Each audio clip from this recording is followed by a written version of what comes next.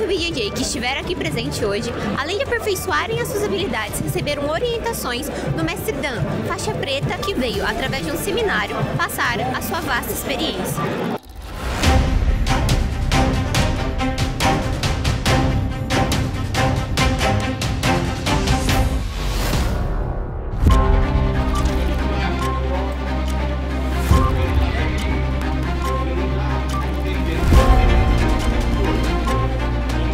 Extraordinário, porque, tipo assim, me tirou do sedentarismo, fez eu entender outras formas de me exercitar, me fez ter vários amigos. Além de exercitar o meu físico, exercito o meu espiritual, o meu psicológico. Então, tipo assim, ele engloba todas as partes. Olha só, todos os Open Match que eu já participei, inclusive esse, é extremamente importante, ainda mais agora com a presença do mestre Indan, né? E como nós viemos um pouco de longe, de Sorocaba, né? Nós viajamos para estar aqui, então sem sombra de dúvida, é muito gratificante estar aqui, aprender, e a gente também leva isso lá para nossa cidade, quando a gente tem as artes marciais lá, toda, experi toda a experiência que a gente adquire aqui, a gente transfere para lá também.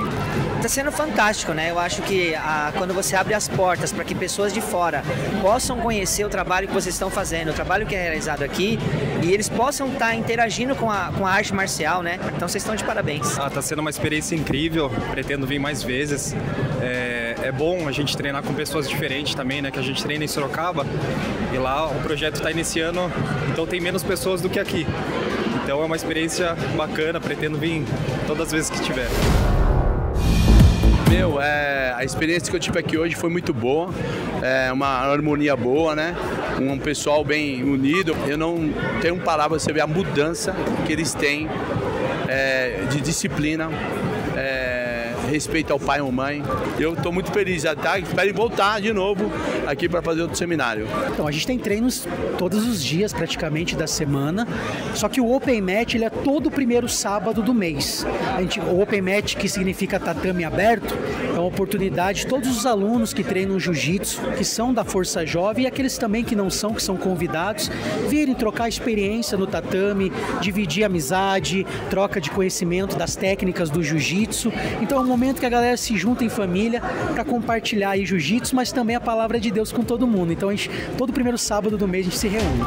E as portas sempre vão estar abertas para o Senhor, para toda a família da Coab também.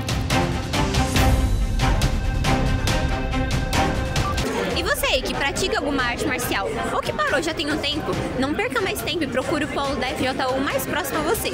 Acesse nosso site forçajovemuniversal.com ou descubra mais nas nossas redes sociais. Instagram, arroba oficial FJU, Facebook e YouTube Força Jovem Universal.